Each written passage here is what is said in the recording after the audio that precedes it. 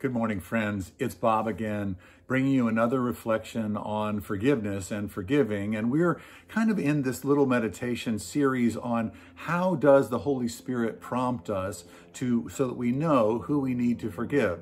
Now, I think one that's fairly obvious, but so much so frequently we ignore, either willfully or unconsciously, is that the Holy Spirit will will be showing us by simply the words that we're speaking. If when we're talking in conversation, we continue to return to something that someone did to us, uh, something that someone said, something someone that some, something didn't say. Maybe I passed over for a job promotion or something happened and you continue your words that what the out of the overflow of the of the heart, the mouth speaks and your words are showing that you actually have got bitterness and resentment and unforgiveness in your heart. So pay attention to what you are saying. Another way of doing that and finding out who you need to forgive is by perhaps asking a close friend who is in normal conversation with you, and maybe they can give you a, a little bit of a check in terms of saying, you know, this continues to come back in terms of what you say. Just ask them, hey, am I talking about anybody or negative toward anybody? Or